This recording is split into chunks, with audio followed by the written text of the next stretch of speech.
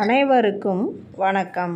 நாம் இன்னைக்கு ஒன்றாம் வகுப்பு பருவம் மூன்றில் கொடுக்கப்பட்டுள்ள கோவரிசை சொற்கள் எழுத்துகள் மற்றும் ஒரு சில பயிற்சிகளை பற்றி இந்த வீடியோவில் பார்க்க போகிறோம் வாங்க ஒவ்வொன்றா இப்போது பார்க்கலாம்.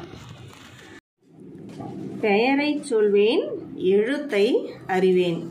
இந்த பகுதியில் இங்கே இருக்கக்கூடிய படங்களின் பெயர்களை சொல்லிட்டு அந்த படங்கள் எந்த எழுத்தில் ஆரம்பிக்குது அப்படிங்கிறத நம்ம தெரிஞ்சுக்க போகிறோம் இங்கே இருக்கிறது கோழி. கோழி. எந்த எழுத்தில் ஆரம்பிக்குது? கோ. கோ. கோலம். கோலம். ஆரம்பிக்கக்கூடிய எழுத்து கோ. கோ. அடுத்தது பார்த்தீங்கன்னா தோசை. தோசை. தோ. தோ. தோட்டம். தோட்டம். தோ. தோ. அடுத்து நம்ம பார்க்க போகிறது படமும் சொல்லும். இதில் படங்கள் கொடுத்துருக்கு. அந்த படங்களை பார்த்துக்கிட்டு நாம் அந்த படத்துக்குரிய சொல்லையும் தெரிஞ்சுக்க போகிறோம் கோதுமை. கோதுமை. கோ. கோ. சோறு. சோறு. சோ. சோ. போர்வை. போர்வை. போ. போ. மோதிரம். மோதிரம். மோ. மோ. தோரணம். தோரணம். தோ. தோ. தொலைநோக்கி. தொலைநோக்கி. நோ. நோ. மீண்டும் ஒரு முறை இந்த படங்களின் பெயர்களை படிக்கலாம். கோதுமை. கோதுமை. சோறு. சோறு. போர்வை. போர்வை. மோதிரம். மோதிரம். தோரணம். தோரணம். தொலைநோக்கி. தொலைநோக்கி. இப்போ ஓ வரிசை எழுத்துக்களை நம்ம பார்க்க போகிறோம் இந்த ஓ வரிசை எழுத்துக்கள் எப்படி உருவாகுது? மெய் எழுத்துக்களும் உயிர் எழுத்துக்களும் இணைந்து தான் இந்த ஓ வரிசை உயிர்மெய் எழுத்துக்கள் உருவாகுது. கோ மட்டும் எப்படி உருவாகுதுன்னு பார்க்குறோம். இக் இக். ஓ ஓ கோ. கோ. அதே மாதிரி இந்த மற்ற எழுத்துக்கள் எல்லாமே மெய் எழுத்துக்களோட ஓங்கிற உயிர் எழுத்துக்கள் சேர்ந்து தான் நமக்கு கிடைக்குது. இந்த எழுத்துக்களை மட்டும் நம்ம இப்போ படிப்போம். கோ கோ சோ சோ ஞோ ஞோ டோ டோ நோ நோ தோ தோ நோ நோ போ போ மோ மோ யோ யோ ரோ ரோ லோ லோ ஓ ஓ ரோ ரோ லோ லோ ரோ ரோ நோ நோ எழுத்துகளை கண்டுபிடிப்போம் வட்டமிடுவோம் இந்த பகுதியில் ஐந்து எழுத்துகள் கொடுத்துருக்குறாங்க. அந்த ஐந்து எழுத்துகளும் இங்கே இருக்கக்கூடிய படத்தில் எந்த இடத்துல இருக்குது அப்படின்னு கண்டுபிடிச்சி நாம் வட்டமிட போகிறோம் முதல் எழுத்து ஓ. முதல் எழுத்து ஓ.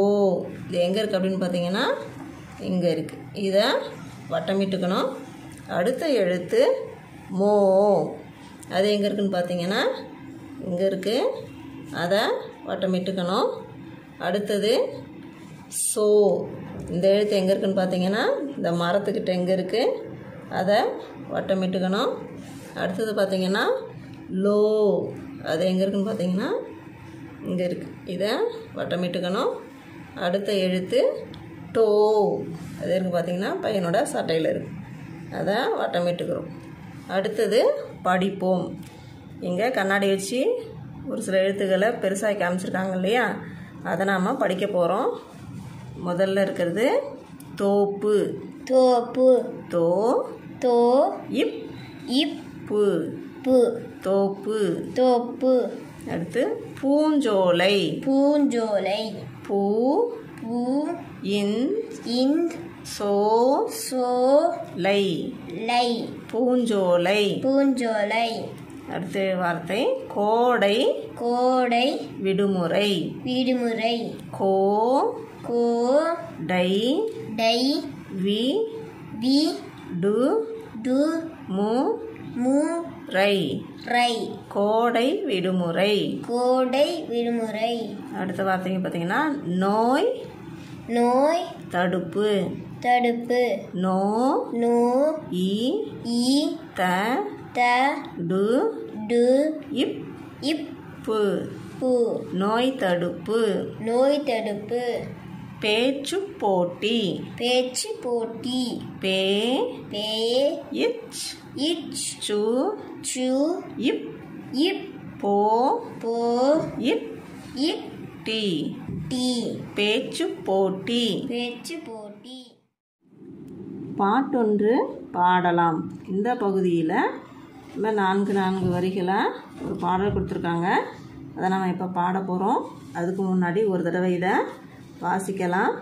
கடலோரம் கடலோரம் போகலாம். போகலாம். அலையோசை அலையோசை கேட்கலாம். கேட்கலாம். நண்டோடு நண்டோடு ஓடலாம். ஓடலாம். மணலோடு மணலோடு ஆடலாம். ஆடலாம். சோலைக்குள்ளே சோலைக்குள்ளே போகலாம். போகலாம். தென்றலோடு தென்றலோடு நடக்கலாம். நடக்கலாம். வண்டோடு வண்டோடு பறக்கலாம். பறக்கலாம். மலர்களோடு மலர்களோடு சிரிக்கலாம். சிரிக்கலாம். வாங்க இதை ராகத்தோட பாடலாம்.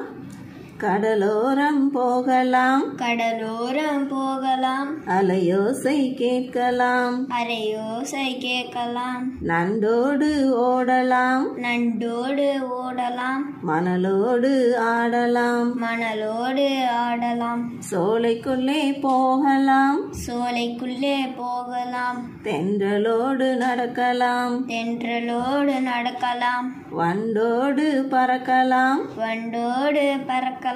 மலர்களோடு சிரிக்கலாம். மலர்களோடு சிரிக்கலாம். அனைவருக்கும் நன்றி.